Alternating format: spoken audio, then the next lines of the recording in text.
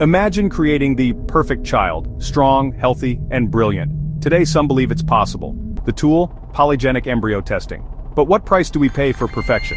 For years, PGT helped families avoid genetic disorders. It's precise, it's preventative.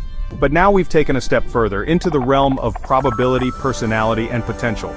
PES analyzes multiple genes to predict disease risk, and possibly traits like height, weight, and intelligence. Not just avoiding illness, but choosing advantage. Startups now promise to rank your embryos by intelligence. Some charge up to $50,000, and wealthy parents are signing up, even when they don't need IVF. IQ prediction is based on polygenic risk scores using genome-wide data. But here's the reality. PRS explains only 2 to 11% of IQ differences. That's maybe a 2.5 point gain, barely noticeable. A child's future isn't written in code. Education, love, trauma, and opportunity matter just as much, often more, than DNA. Genes aren't single-purpose tools. One gene can affect many traits. Raise IQ, raise autism risk, boost cognition, trigger anxiety. Just because we can, doesn't mean we should. Selecting embryos for advantage feels eerily close to eugenics. Selective breeding cloaked in high tech.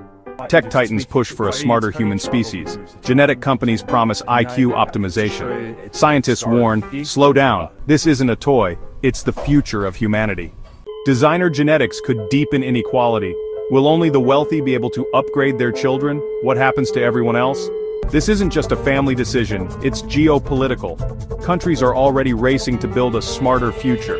Will others be forced to follow just to keep up? Marketing exaggerates certainty. IQ prediction isn't destiny, it's statistical noise. Parents chasing an ideal may end up disappointed or worse, devastated. What about the child? Will they feel pressure to live up to a profile? What happens if they fall short of their genetic promise? We've tried this before.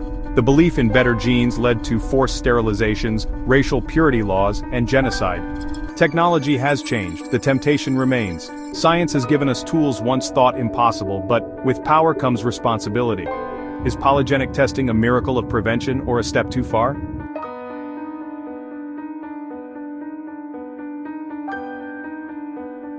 Like share. Comment below, would you screen for IQ, or should we leave some mysteries untouched?